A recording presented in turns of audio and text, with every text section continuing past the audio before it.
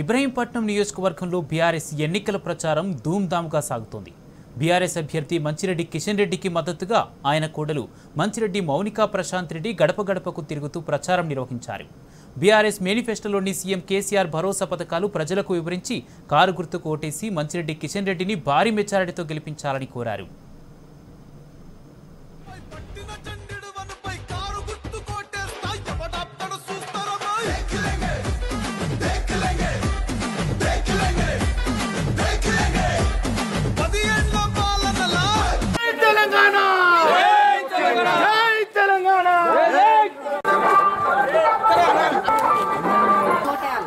ఇవాళ మేము ఈ ఇక్కడ ఈ కాలనీలలో ఈ ఊర్లో తిరుగుతున్నాము.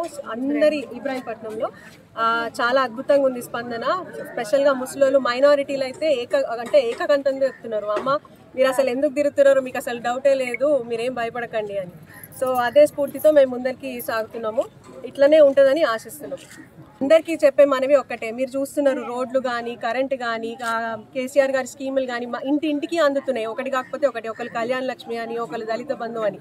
సో తప్పకుండా వీళ్ళందరూ చూస్తున్నారు కాబట్టి వాళ్ళు వేస్తారన్న నమ్మకం ఉంది. వేయాలని విజ్ఞప్తి చేసుకుంటున్నాం.